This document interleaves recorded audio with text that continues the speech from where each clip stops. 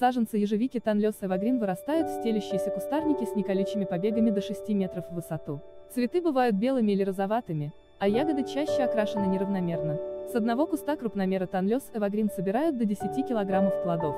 Плодоношение при этом растянутое и позднее, что дает возможность получить урожай несколько раз за сезон. К основным достоинствам сорта относятся высокая урожайность, возможность транспортировки ягод без потери вкуса и внешних качеств, декоративные характеристики растения, компактность, иммунитет к болезням. А среди недостатков стоит отметить позднее созревание ягод, необходимость тщательного ухода. Ежевика Танлес Эвагрин – это многолетнее растение высотой 200-400 см.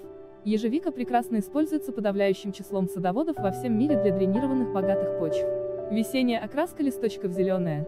Ежевика Танлес Эвагрин имеет поздний срок созревания. Плоды ежевики созревают в месяце июль. Урожайность ежевика Танлес Эвагрин около 10 кг, и это средняя урожайность. Бывает как больше, так и меньше. Масса плодов приблизительно 3,4-5 грамм, но, конечно, зависит от условий выращивания. Окраска ягод черная. Вкус кисло-сладкий. Ягоды можно потреблять в свежем виде и на переработку. Обратите внимание, что ежевика Танлес Эвагрин – самоопыляемый, обоеполый сорт. Это растение и тысячи других саженцев, луковиц и семян вы можете купить на нашем сайте www.lofa.ru.